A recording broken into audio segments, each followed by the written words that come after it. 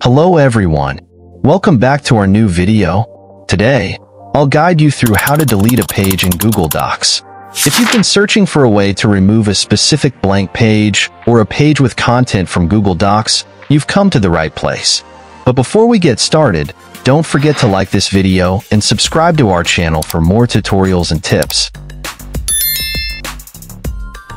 Now, let's start.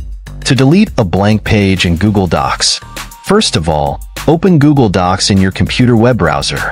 Once you are in Google Docs, navigate to the document from which you want to delete a specific page. This is a Google document where I want to delete a blank page and a page with content. To delete a blank empty page from Google Docs, go to the blank page that you want to remove.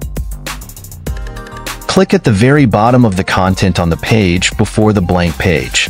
If you want to delete this page, double-click on the bottom of this page. Once double-clicked, you will see a certain area is selected. Now, press the delete key on your keyboard. The blank page is now deleted from Google Docs.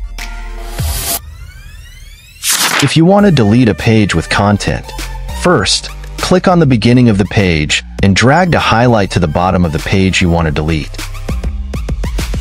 Make sure to include all text, images, tables, and any other elements on that page.